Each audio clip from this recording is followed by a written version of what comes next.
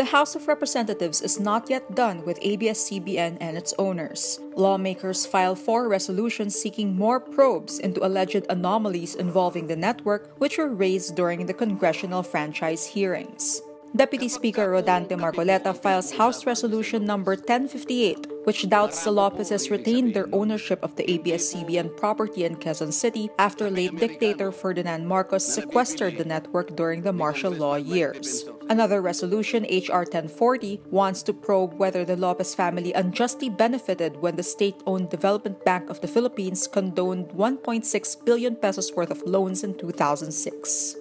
H.R. 1040 is also authored by Marcoleta with Representatives Boying Remulla, Paulo Duterte, Claudine Bautista, Eric Yap, Mike Defensor, and Elpidio Barzaga Jr.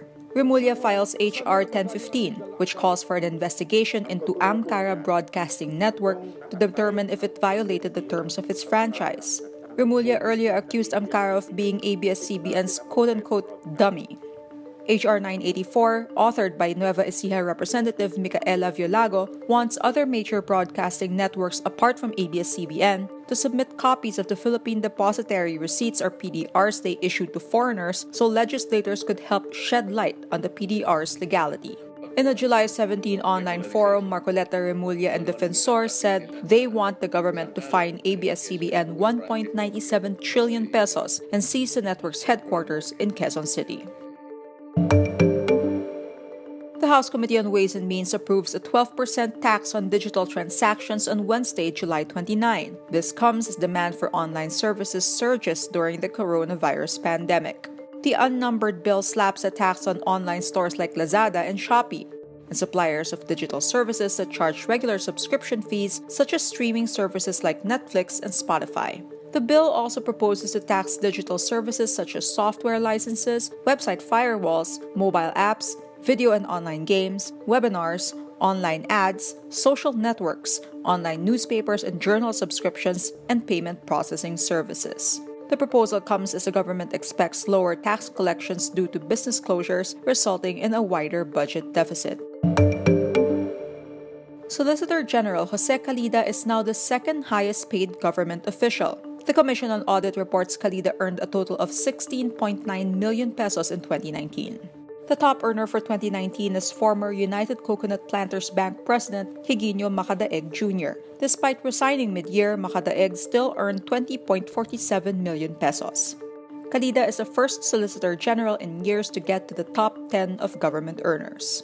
Calida's basic salary for 2019 was only 2.9 million pesos, but he earned 11.9 million pesos from his Personnel Economic Relief Allowance, additional compensation, and honorarium. Calida earned around 288,000 pesos in allowances, around 550,000 pesos in bonuses, incentives, and benefits, and 312,000 pesos in discretionary expenses and miscellaneous. Calida's allowances were flagged by COA before and has been a long-time dispute even in other agencies. While allowances are allowed, a COA circular states allowances should not exceed 50% of the annual salary. Senator Risa Hontiveros calls on the Commission on Audit to review government spending on its COVID 19 response under the Bayanihan to Heal as One Act. In the resolution, Hontiveros and Senators Ralph Recto, Frank Drilon, Sonny Angara, Ping Lacson, Kiko Pangilinan, and Leila de Lima urged the COA to present its findings to Congress before it begins deliberating the 2021 national budget. Hontiveros says, quote, It is of critical importance that there be audit findings to guide legislators in our exercise of the power of the purse. Hontiveros cites the government's purchase of automated nucleic acid extractors for 4 million pesos, which she says private counterparts were able to get for 1.75 million pesos. Hontiveros also says the government procured billions of pesos worth of personal protective equipment for 1,800 pesos when the market price ranges from 400 pesos to 1,000 pesos.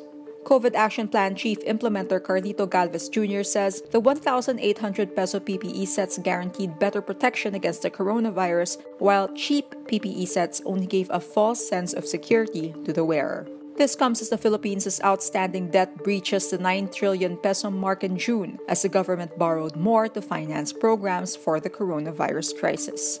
The Bureau of the Treasury says outstanding debt hit 9.054 trillion pesos, 1.8% higher than end May and 17.1% higher than end December. As the debt goes higher, so do the confirmed coronavirus cases. There are 85,486 confirmed as of Wednesday, July 29. Total death toll rises to 1,962. Recoveries are at 26,996.